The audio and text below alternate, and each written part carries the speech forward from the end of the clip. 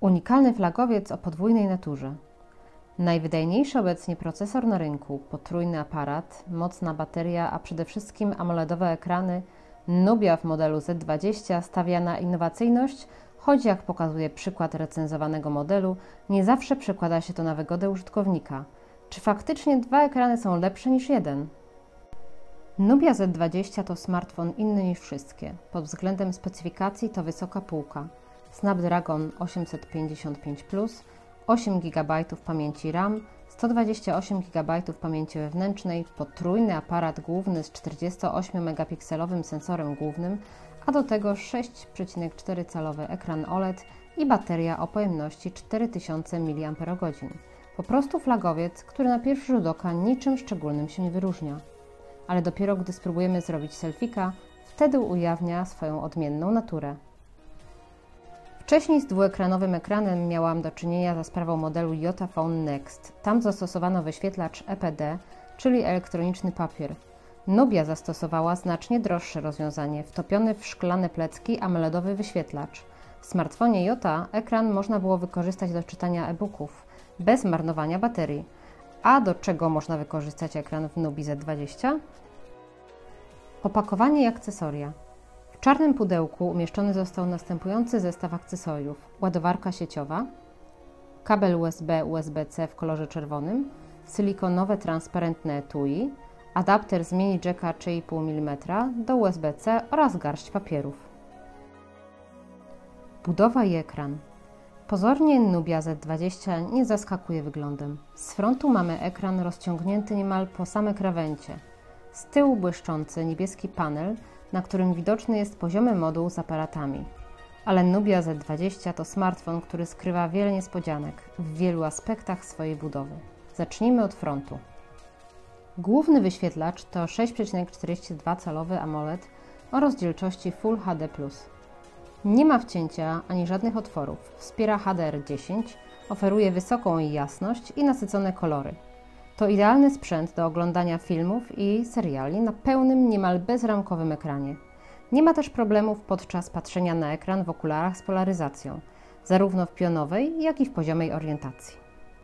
Ekran jest zaokrąglony przy bocznych krawędziach i pokrywa go warstwa wzmocnionego szkła Gorilla Glass 5. W górnej części znalazła się szczelina głośnika rozmów, czujniki i dioda powiadomień. Początkowo dioda informowała tylko o słabej baterii lub świeciła się podczas ładowania – ale wystarczy w ustawieniach zmienić jedną opcję, by zaczęła mrugać również dla powiadomień. Odhaczenie pola Nie wyłączaj migania diody w zakładce Niestandardowe ograniczenia powiadomień. Tył urządzenia jest szklany, lustrzany, gładki, błyszczący i ma głęboki niebieski kolor. Wygląda elegancko i szykownie, choć bardzo trudno utrzymać go w czystości. To prawdziwy magnes dla odcisków palców. Znalazł się tu potrójny aparat umieszczony w poziomym, podłużnym module, dwie diody doświetlające, szczelina głośnika rozmów przy górnej krawędzi oraz logo marki w dolnej części. Wydawałoby się, że jest to taki panel jak każdy inny, ale w istocie jest zupełnie inny niż praktycznie wszystkie smartfony na rynku. Chodzi oczywiście o zgrabnie ukryty dodatkowy ekran, który umieszczono na tylnym panelu Nubi. Na krawędziach urządzenia też nie jest nudno. Na górnej znalazł się otwór, prawdopodobnie to dodatkowy mikrofon, na dolnej zaś otwór głównego mikrofonu, port USB-C oraz zestaw otworów maskujących pojedynczy głośnik zewnętrzny. Po lewej stronie, mniej więcej w połowie wysokości telefonu, znalazł się skaner linii papilarnych, zintegrowany z włącznikiem blokadą ekranu. Nad nim zauważymy tackę na karty SIM. Mieści dwie karty w rozmiarze nano. Po prawej stronie znalazł się kolejny skaner linii papilarnych, także zintegrowany z włącznikiem blokadą ekranu. Nad czytnikiem dodatkowo umieszczony został podłużny przycisk do regulacji głośności. Po co producent umieścił zdublowany czytnik odcisków palców? Chodzi o to, by niezależnie od tego, który ekran jest w użyciu, urządzenie można było tak samo wygodnie odblokować i obsługiwać. W większości przypadków skanery działają szybko i precyzyjnie, choć czasami następowało wybudzenie ekranu, ale biometryczne zabezpieczenie nie rozpoznało moich palców. Ale były to raczej sporadyczne sytuacje. Sama ramka jest metalowa, wykończona na błyszcząco pod kolor urządzenia i miejscami przerywana paskami antenowymi. Warto dodać, że dolna część urządzenia, czy raczej ramka w dolnej części urządzenia jest wrażliwa na nacisk. Można tu ustawić własne skróty do aplikacji czy pewnych działań telefonu, które uruchomione zostaną po odpowiednim ściśnięciu urządzenia. Zarówno z frontu, jak i na tylnym panelu naklejona została fabrycznie folia ochronna. Oprócz tego mamy w zestawie silikonowe etui. To wszystko ma pomóc w zabezpieczeniu smartfonu na wypadek uszkodzenia. Niestety Nubia Z20 nie może się pochwalić określonym standardem pyło lub wodoodporności. Dodam, że telefon dostępny jest w wersji czarnej, Diamond Black i niebieskiej Twilight Blue. Dodatkowy ekran. Producenci na różne sposoby próbują ukryć aparat na frontowym panelu. Ramki, wcięcia, otwory w ekranie, przeniesienie aparatu na dolną ramkę czy aparaty typu pop-up. Rozwiązań było już sporo, ale przyznam, że Nubia mnie zaskoczyła. Z frontu w ogóle nie ma aparatu, do selfików służy aparat główny. A żeby użytkownik widział, czy korzystnie wygląda, zamontowano drugi ekran, który wtopiono pod szklany panel. Wcześniej identyczne rozwiązanie przedstawiła firma Vivo w modelu Next Dual Display, ale był to jednorazowy wyskok i pomysł porzucono. ZTE podchodzi do tego pomysłu po raz kolejny. Najpierw dwa ekrany zastosowano w modelu Nubia X. Tylko czy Nubia słusznie do niego wraca? Błyszczący panel telefonu z poziomym modułem aparatu nie wywołuje specjalnego efektu wow, co najwyżej przyciąga odciski palców. Ale wszystko się zmienia, gdy aktywowany zostaje drugi ekran wtopiony w szklane plecki poniżej modułu aparatu. To dodatkowy ekran typu AMOLED o przekątnej 5,1 cala i rozdzielczości HD. Wykorzystywany może być nie tylko do podglądu selfika czy prowadzenia wideo połączeń, ale generalnie do wszystkiego, do czego można wykorzystywać główny ekran. Przełączanie się między ekranami jest dość intuicyjne. Gdy chcemy zrobić selfika, na tylny panel użytkownika przenosi sama aplikacja aparatu. W pasku skrótów znajdziemy też stosowną ikonę, która aktywuje wybrany ekran. Albo możemy pozostawić na ekranie wirtualny przycisk, który będzie działał w ten sam sposób. Co więcej, naprawdę dobrze działa tu wykrywanie ruchów, więc samo obracanie telefonu w rękach aktywuje odpowiedni wyświetlacz. Ekran na tylnym panelu może działać w trybie Mirror Mode, czyli kopiuje to, co jest na ekranie głównym, ale może też działać w trybie Dual Screen Multitasking i wyświetlać dwie różne aplikacje na poszczególnych wyświetlaczach. Wygodę korzystania z podwójnego ekranu zwiększają przyciski wybudzenia ekranu, które mają zintegrowane skanery linii papilarnych. Dzięki temu, niezależnie od tego, z którego wyświetlacza zamierzamy korzystać, nie musimy gimnastykować się ze skanowaniem palców. Czytniki zawsze są pod ręką. Na tylnym panelu znalazła się też dodatkowa szczelina głośnika rozmów, dzięki czemu można realizować połączenia głosowe korzystając z tylnego panelu urządzenia. Na obydwu ekranach mogą być wyświetlane panele Always on Display. Wygląd ekranów i pory, w których będą wyświetlane, można zmodyfikować w ustawieniach. Softu do obsługi dodatkowego panelu jest znacznie więcej i zostanie opisany w dalszej części tekstu. Dodatkowy ekran w Nubi Z20 oraz wszelkie innowacje i elementy budowy, które mu towarzyszą, to naprawdę ciekawa rzecz. Jeśli taki pomysł wykorzystania przestrzeni podoba się Wam bardziej od obecnych rozwiązań, to smartfon będzie świetnym wyborem. Ale zauważmy też, że może się to przekładać na większe zużycie baterii. A kolory na mniejszym ekranie są cieplejsze niż na ekranie głównym. W domyślnych ustawieniach biel jest praktycznie żółta. Co więcej, przechodząc przez czarne lub niebieskie szkło, kolory wyświetlane na dodatkowym ekranie nie mają prawa być naturalne. Dodatkowo maksymalna jasność panelu jest dość niska. Niezbyt sprawdza się w pełnym słońcu, a ekran otaczają duże ramki. I choć całość jest świetnie wykonana, to praktyczny aspekt dodatkowego ekranu jest raczej mało znaczący podczas codziennego korzystania ze smartfonu. System i aplikacje. Smartfon działa pod kontrolą Androida 9 i interfejsu Nubia UI 7. I chyba nie ma co liczyć na szybką aktualizację. Same poprawki bezpieczeństwa są z 5 sierpnia 2019 roku. Sama nakładka producenta jest nieco zmodyfikowaną wersją czystego Androida, w której można wiele rzeczy spersonalizować. Skorzystać z menu aplikacji, ekranów Always on Display, ciemnego motywu czy ustawień dotyczących parametrów wyświetlanego obrazu. Osoby, które przyzwyczaiły się do nawigacji gestami po systemie, tutaj niestety tej opcji nie znajdą. System sam działa płynnie i szybko. Aplikacje uruchamiają się bez żadnej zwłoki. Nie ma też tu problemów z wielozadaniowością. Dotyczy to pracy na obydwu ekranach. Oprogramowanie dostarcza też szeregu funkcji niezbędnych do wsparcia unikalnego hardware'u, czyli dodatkowego ekranu. Switch between two screens pozwala ocenić, w jaki sposób użytkownik będzie przemieszczał się między ekranami i który z nich będzie się odpalał po wybudzeniu telefonu.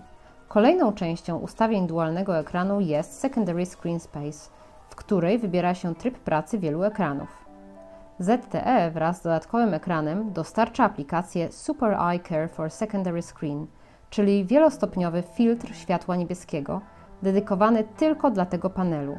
Są jeszcze efekty, które znaleźć można pod zakładką Screen Scene Lightning Effect. Użytkownik może aktywować tę funkcję, by podczas odbierania połączenia, grania czy odtwarzania muzyki na dodatkowym ekranie były wyświetlane dodatkowe efekty wizualne. Nie ma to żadnego praktycznie znaczenia. Sam szpan. Warto dodać, że większość interfejsu została przetłumaczona na język polski, ale wszystko to, co Nubia dodała od siebie do czystego Androida, jest w wersji angielskiej czyli aplikacja aparatu, wszystkie aplikacje związane z obsługą dodatkowego ekranu, aplikacja związana z akcjami uruchamianymi przez ściśnięcie ramki Pressure Border ze zmianą kolorystyki ekranu Display Preferences, trybem obsługi jedną ręką One-Handed Mode czy ekranami Always on Display.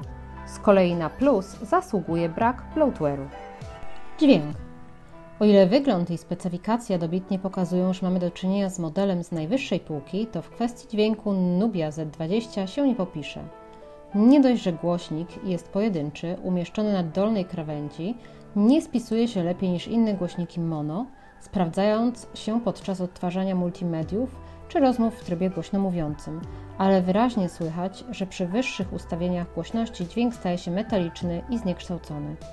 Jeśli macie swoje ulubione słuchawki, to niestety skorzystanie z nich wraz z Nubią Z20 będzie wymagało adaptera. Smartfon nie ma uniwersalnego gniazda słuchawkowego, ale przynajmniej w zestawie jest przelotka mini jack 3,5 mm do USB-C. Zdjęcia i wideo. Możliwości fotograficzne Nubi Z20 prezentują się naprawdę imponująco. Moduł jest potrójny i obejmuje następujące aparaty: 48 megapikseli, Sony IMX 586, przysłona 1.7 OIS 16 megapikseli, obiektyw szerokokątny 122,2 stopni, przesłona 2,2 8 megapikseli, teleobiektyw, trzykrotny zoom optyczny, przesłona 2,4 Aparaty te wspiera nie jedna, ale dwie diody doświetlające, rozmieszczone symetrycznie na bokach fotograficznego modułu. Lewa doświetla zdjęcia wykonane głównym aparatem, a prawa doświetla selfiki. Sama jakość zdjęć również zasługuje na pochwałę. Nie jest to poziom flagowców, ale dobra średnia półka. Dużą zaletą jest obecność szerokiego kąta i teleobiektywu, choć nie sposób nie zauważyć, że poszczególne obiektywy ustawiają nieco inny balans bieli i nieco inne kolory. W dobrym oświetleniu rezultaty fotografowania są znakomite. Kolory są jasne i nasycone. Dynamika obrazów jest bardzo dobra. Świetnie wyglądają też zdjęcia z wykorzystaniem optycznego zoomu. Efekt fotografowania jest naturalny. Widać, że zdjęcia nie są podrasowane przez oprogramowanie. Trochę gorzej aparaty w Nubi sprawdzają się przy słabym świetle. Szeroki kąt raczej nie powinien być wtedy używany, a teleobiektyw zbyt mocno stara się zredukować szum, co skutkuje zdjęciami pozbawionymi szczegółów. Aparat główny robi niezłe zdjęcia, choć zauważalny jest spadek poziomu detali i szum na zdjęciach. Ale i tak, biorąc pod uwagę cenę urządzenia, smartfon zasługuje na duży plus. Producent nie zapomniał o trybie nocnym, który potrafi zauważalnie rozjaśnić zdjęcia. Choć nie jest to rezultat, jaki osiągniemy na przykład ze smartfonami od Huawei. Dodam też, że smartfon lepiej sprawdza się w zbliżeniach niż w dalekim planie. Im dalej jest fotografowany obiekt, tym słabsze jest nasycenie kolorów. Do obsługi aparatu Nubia nie wykorzystała standardowej aplikacji Androida. Mamy tu do czynienia z firmowym oprogramowaniem, które daje dość szerokie możliwości w zakresie fotografowania i dla amatorów, i dla tych bardziej zaawansowanych. Oferuje liczne tryby pracy, łącznie z trybem nocnym, portretowym i pro. Umożliwia rejestrowanie zdjęć w maksymalnej jakości 48 megapikseli oraz plików wideo w maksymalnej jakości 8K. Do tego automatyczny HDR i efekty kolorystyczne. Choć aplikacja na pierwszy rzut oka sprawia wrażenie nieco zabałaganionej, to po kilku dniach można się do tego przyzwyczaić. Ważne, że to co najważniejsze jest pod ręką. Smartfon umożliwia nagrywanie w jakości 1080p oraz w jakości 4K przy 60 klatkach na sekundę dla aparatu głównego. Ale na tym Nubia nie poprzestała. Jest tu też opcja nagrywania w jakości 8K przy 15 klatkach na sekundę. Choć na razie to tylko ciekawostka, a z uwagi na klatkarz zupełnie nieprzydatna. Przyszedł czas na frontowy aparat, którego nie ma. I choć selfiki zrobione głównym aparatem z wykorzystaniem dodatkowego ekranu w roli wizjera jakościowo są świetne, to sam fakt, że do zrobienia selfika trzeba przekręcić cały telefon, niepotrzebnie komplikuje ten proces. Doceniam pomysł, doceniam odwagę i innowacyjność producenta, ale wolę tradycyjne rozwiązanie. Przez jakieś dwa tygodnie spędzone z Nubią, konieczność obracania telefonu irytowała mnie za każdym razem, gdy chciałam zrobić selfika. Ale jeśli większe znaczenie ma dla Was jakość selfika, to Nubia Z20 na pewno Was nie rozczaruje. W końcu w tym celu wykorzystujemy główny aparat, który oferuje sensor 48 megapikseli, optyczną stabilizację obrazu, autofokus i aparat z szerokim kątem, którym można bez problemu wykorzystać podczas robienia selfików. Komunikacja. Smartfon od ZTE oferuje niemal pełny pakiet modułów łączności. Obsługuje HSPA, i LTE, dwie karty SIM i ma Bluetooth 5.0. Z fizycznych portów mamy USB-C. Do tego dwuzakresowy moduł Wi-Fi i nawigacja, która nie sprawiała najmniejszych problemów zarówno podczas pieszych spacerów, jak i podczas jazdy samochodem. Niestety, tak w wielu chińskich smartfonach, nie uświadczymy tu modułu NFC. A biorąc pod uwagę popularność płatności zbliżeniowych w Polsce, jest to spora wada. Połączenia głosowe. Nubia Z20 sprawdziła się bez zarzutów w swojej tradycyjnej roli telefonu. Jakość połączeń była nienaganna przez cały czas, gdy korzystałam z recenzowanego modelu. Problemu podczas rozmów nie sprawiał hałas uliczny czy dźwięki komunikacji miejskiej. Pamięć i wydajność. Smartfon wyposażony został w 128 GB pamięci, z tego 113 GB zostaje dla użytkownika. I niestety to cała przestrzeń na dane – Smartfon nie ma slotu na karty pamięci, więc jeśli zabraknie gigabajtów, trzeba będzie posiłkować się rozwiązaniami w chmurze. Specyfikacja Nubi Z20 odpowiada temu, co oferowały topowe modele z końca 2019 roku. Dostarcza mocy, która będzie wystarczająca dosłownie do wszystkiego, włącznie z wielozadaniowością i korzystaniem z najbardziej zasobożernych gier. Mamy tu bowiem procesor Qualcomm Snapdragon 855 Plus o maksymalnym takowaniu 2,96 GHz, wspierany przez grafikę Adreno 640 i 8 GB pamięci RAM. Potwierdzają to wyniki benchmarków. Warto dodać, że smartfon nie ma tendencji do nagrzewania się podczas nawet intensywnej pracy. Bateria. Choć połączenie dwóch ekranów AMOLED i baterii o pojemności 4000 mAh nie rokuje dobrze na papierze, to w praktyce okazało się, że Nubia Z20 potrafi bardzo długo pracować na jednym naładowaniu. Nawet intensywnie używana potrafiła przetrwać przez cały dzień z dala od ładowarki, średnio osiągając 1 do 1,5 dnia pracy. Po 15 minutach smartfon ma jakieś 25% baterii, po 30 minutach około 60%. W 100% ogniwo naładowane zostaje mniej więcej po godzinie i 20 minutach. Z racji umieszczenia na tylnym panelu dodatkowego wyświetlacza zabrakło miejsca dla cewki indukcyjnej, stąd nie dostajemy bezprzewodowego ładowania, ani ładowania zwrotnego. Podsumowanie. Nubia Z20 wywołała we mnie mieszane uczucia. Z jednej strony jako smartfon na co dzień jest genialnym urządzeniem, błyskawicznie działającym, wydajnym, ze świetnym ekranem i mocną baterią. Ma najmocniejszy obecnie procesor, Snapdragon 855 Plus, 8 GB pamięci RAM i 128 GB pamięci wewnętrznej. Oferuje wszystko, czego oczekiwalibyśmy od smartfona z mocnej, średnio wyższej półki.